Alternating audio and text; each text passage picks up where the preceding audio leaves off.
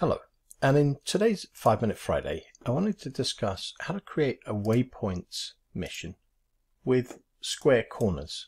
As you've probably seen already, if you create a waypoint, let's put something around here. By default, this thing's going to have these nice curved turns or splined turns as they're called. And as you add new ones, you get these you get these curves. And that's great, except sometimes you don't want these nice curvy things, you want, you want a square. So how do you do that? It's quite easy.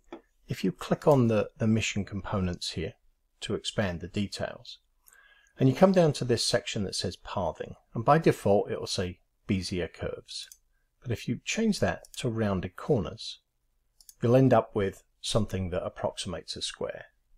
Now, by default, the corners are still going to have a curve, and you can change how big that curve is by just changing the corner radius.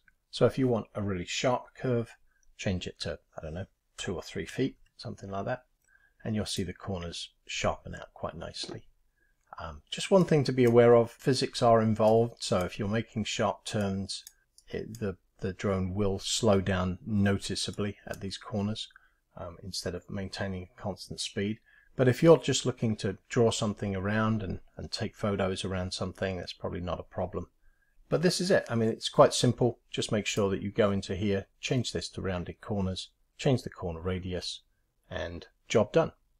Hopefully that was helpful. See you in the next video.